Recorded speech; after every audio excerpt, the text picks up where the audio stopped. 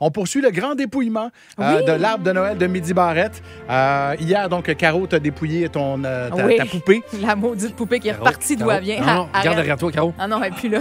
Je vous rappelle que on- on- donc Stéphane, notre producteur, a demandé à nos parents Ouais. euh, de nous envoyer des cadeaux qui ont été significatifs qu'on avait laissés euh, dans, la Mhm. maison, souvent chez nous, euh, puis qui avaient donc euh, qui suscitaient diverses émotions.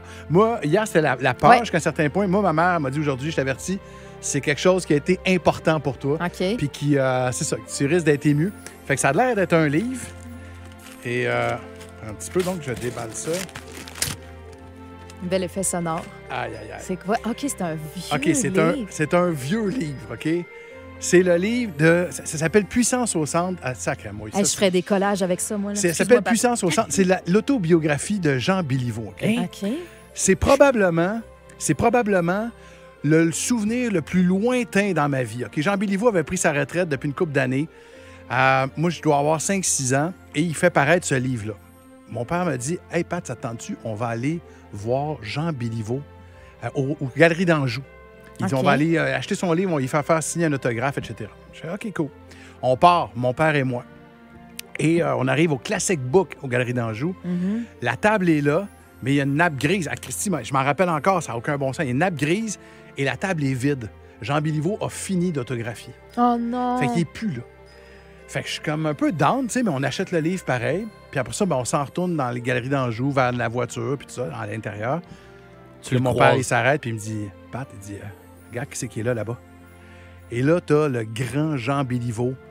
Moi, je suis tout petit, là. Ouais. Capitaine du Canadien, à la retraite, mais peu importe. Et je pars à courir comme un débile et j'y saute au cou. Ben non. Je saute au cou de Jean Béliveau. T'as-tu pogné un deux minutes pour ça? non, mais je donne mon livre et il l'a il l'a autographié, donc Ouais. euh, je sais pas à trop. Patrick, meilleur souhait, Jean Béliveau. Bon, Wow. voilà. Et euh, tout ça pour dire que ce livre-là est important parce que c'est un peu avec ça que j'ai appris à lire aussi. Puis tu sais, je l'ai souvent relu, etc. C'est quoi l'autre dédicace? Je ne sais pas c'est quoi. Euh, meilleur souhait, je pense. Mais, non, mais il y a quelqu'un d'autre qui a signé? C'est peut-être probablement You Hood, c'est probablement l'auteur. OK. Euh, et donc, 40 ans plus tard, il y a une réédition de ce livre-là, de Jean Béliveau, Puissance au centre. Et euh, je m'en vais à la conférence de presse, 40 ans plus tard, et euh, je prends la réédition et je la fais signer par Jean Béliveau, mais cette fois-là, je la fais signer pour mon père. Ah.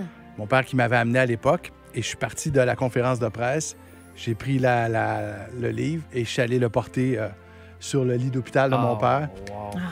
Ça, le vieux livre, c'est probablement le plus lointain souvenir que j'ai. Le deuxième livre, c'est le dernier souvenir que j'ai avec mon père qui était sur son lit de mort à ce moment-là. C'est ça, Puissance au centre Wow. de Jean Béliveau pour moi. Wow. Ouais, signé à son nom. Alors Euh, voilà, c'est je- c'est- je- sais pas c'est quoi, c'est les allergies. C'est c'est- Aïe, Je- aïe, Pat. Fait que, c'est les allergies. j'ai- Merci, maman, pour, les, pour les beaux souvenirs. Ouais, c'est ça. Ça s'appelle Puissance au centre de Jean Béliveau. Midi Barrette!